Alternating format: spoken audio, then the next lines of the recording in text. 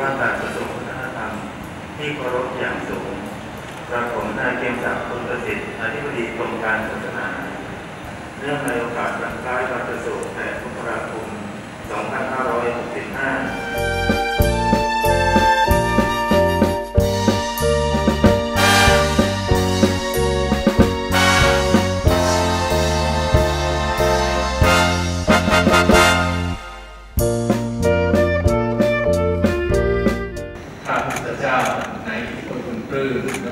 ว่าการกระทรวงวัฒนธรรม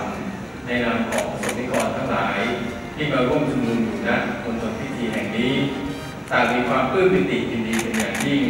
ที่ได้มีโอกาสแสดงความจงรักภักดี และสำนึกในพระมหากรุณาธิคุณเป็นล้นพ้นที่ใต้ฝ่าพระบาทได้ทรงบำเพ็ญพระราชกรณียกิจนานับประการ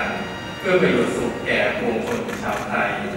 และเนื่องในโอกาสอันเป็นมงคลวันคล้ายวันประสูติ เป็นมงคลด้วยความจงรักภักดีขออำนาจแห่งคุณพระศรีรัตนตรัย